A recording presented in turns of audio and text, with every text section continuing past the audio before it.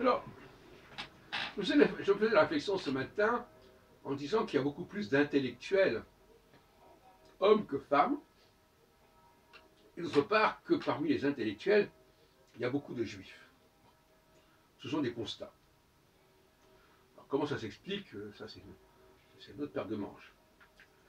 Dans l'explication, vous savez, il faut faire attention aux explications, parce que les explications sont parfois des moyens de nier les faits, ou les relativiser. Mais restons-en aux femmes intellectuelles, des femmes qui s'expriment avec vigueur euh, sur les réseaux. Il n'y en a pas beaucoup. Il y a notamment Elisabeth Lévy, il y a Natacha Polony. Je ne connais pas beaucoup d'autres en fait. Euh, les autres sont, sont, limités à être des animatrices, euh, à, des, arbitres. Enfin bon, c'est pas, pas ça. Cela dit, je prends le cas d'Elisabeth Lévy, euh, elle n'aime pas être interrompue. Et donc finalement, je voyais tout à l'heure discuter avec Étienne Chouard, pour lequel je n'ai pas euh, une estime particulière, mais son mode de fonctionnement était très masculin, à Étienne Chouard. C'est-à-dire qu'il entendait quelque chose, il réagissait. Alors elle, elle voulait qu'on la laisse parler, qu'on la laisse terminer. Et ça, je considère ça tout à fait inacceptable. Un débat, un vrai débat, on peut très bien s'interrompre. Alors elle, elle est amusante, Elisabeth Lévy, elle dit, ah oui, mais moi je ne suis pas capable de participer à un débat où on, m'interrompt constamment. Alors, ce discours peut être accepté par les femmes.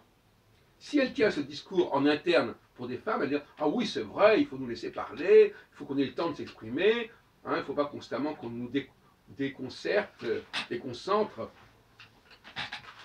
Et ça, c'est un discours en interne, comme la nouvelle formule que j'utilise dans une autre vidéo. Mais le temps de l'homme n'est pas le temps de la femme. C'est-à-dire qu'un homme sait viscéralement qu'on peut dire les choses en quelques secondes. La femme, elle a besoin de dix fois plus de temps pour s'exprimer. Parce qu'elle, elle est dans une logique non pas d'élan et d'impulsion, mais dans une logique de développement, avec une sorte de volonté de perfection.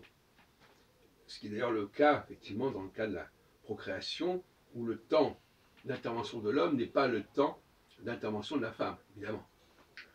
Et on retrouve cette euh, dimension-là. Ce qui fait que euh, faire discuter des hommes et des femmes ensemble, ça devient très compliqué. Parce qu'elles ne vivent pas dans la même temporalité.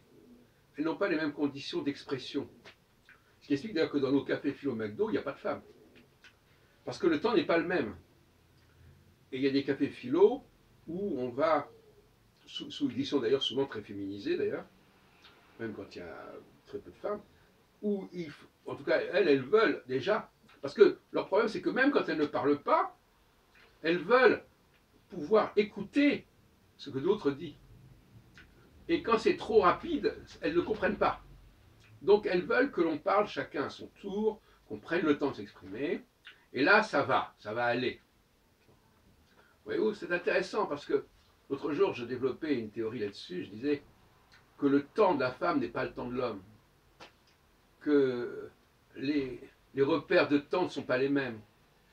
Je pense à la ménopause, par exemple. Je pense au vieillissement, etc. etc. Et donc, par conséquent, l'homme, c'est un coureur de vitesse. La femme, c'est un une coureuse de fond, si on veut. Et donc, elle va prendre le temps, elle a besoin de temps pour développer. Parce qu'elle est dans la forme c'est important que les choses soient bien dites, bien exposées, etc. L'homme, lui, il est dans l'élan, il est dans l'impulsion. Et donc, par conséquent, il sait très bien qu'en quelques secondes, il peut dire quelque chose. Et il comprend immédiatement ce que l'autre veut dire. Donc, qu'on le veuille ou non, euh, ça ne fonctionne pas de la même manière dans les deux cas. La notion de débat n'est pas la même selon qu'elle est pensée par un homme ou par une femme. Alors dans le cas de Natacha Polony, je, n'ai pas en tête des expressions comparables à celles de Marie-Elisabeth Lévy, mais je pense que c'est à peu près la même chose. Elle a besoin de temps et un débat à bâton rompu, comme on dit, ça ne marche pas. Or, entre, quand les hommes discutent entre eux, c'est pas qu'ils s'interrompent, c'est qu'ils interviennent. Moi, par exemple, si je dis quelque chose et que quelqu'un glisse une expression, eh bien, je la reprends, ou bien je la fais passer. Je ne me sens pas interrompu. Donc, il y a des personnes qui tiennent des propos, dès qu'on dit quelque chose, ça les bloque, ça les arrête.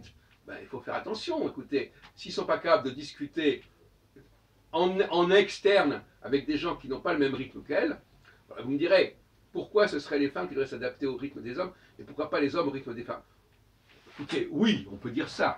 Mais dans ce cas-là, il vaut mieux, comme c'est pas possible, pourquoi, pourquoi est-ce qu'il y en aurait un qui serait euh, euh, à cause de l'autre Pourquoi les valeurs de l'un devraient l'emporter sur les valeurs de l'autre? Il vaut mieux que chacun fonctionne avec son propre groupe. C'est vrai, à la limite. Si on veut avoir un discours entre hommes, eh bien on a un discours entre hommes. Qui veut dire qu'on discute comme ça, on lance un truc, la, personne continue son propos, elle laisse parler, elle continue, elle reprend, etc. Bon, si les gens sont incapables de mener une discussion de cette façon-là, bon ben tant pis, qu'est-ce que vous voulez que je vous dise hein, hein? Bon, qu'elles restent entre elles, ces femmes. Qu'est-ce que je vous dise? Si elles ne peuvent pas euh, bon, et d'autre part, malheureusement, le débat, un vrai débat, ça implique quand même une certaine vivacité de réaction. On n'est pas dans un colloque où chacun prend 20 minutes pour s'exprimer et ne répond même pas d'ailleurs euh, aux objections de l'autre. Et d'ailleurs, euh, moi je suis pas pour. je suis pour des prises de parole extrêmement brèves. Hein.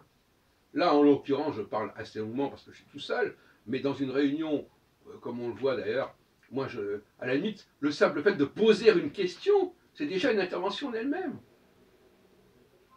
Hein Et la personne, on lui pose une question, elle doit répondre. On lui fait une objection, elle répond. Donc tout ça, ça peut être très rapide. De manière générale, la rapidité est payante. Prenons par exemple le fait euh, classique à Paris de, traverser euh, en dehors des feux, en dehors des clous, etc. Si on le fait avec assez de rapidité, de célérité, ça marche. On peut passer devant une voiture euh, euh, alors qu'elle est en train de rouler si on le fait assez vite et si c'est assez clairement formulé, si le geste est clair. Maintenant, si la personne est trop lente et si en plus elle n'est pas claire dans, dans ce qu'elle veut faire, ça passe pas. La rapidité, c'est fondamental dans une société. La moindre des courtoisies, c'est la rapidité. Et la rapidité, ça veut dire qu'on peut, euh, peut continuer son chemin, euh, même si quelqu'un vient euh, traverser sa route, ou dire quelque chose en passant, ou ajouter quelque chose. Il y a même des gens, quand ils parlent, et qu'on leur... Non pas, on ne fait même pas d'inflexion, on ajoute quelque chose, ils disent « ne m'interrompez pas !» on, leur, on ne fait qu'ajouter quelque chose. Ah non, c'est déjà trop, ça les perturbe, ça les déconcentre. Faut pas exagérer.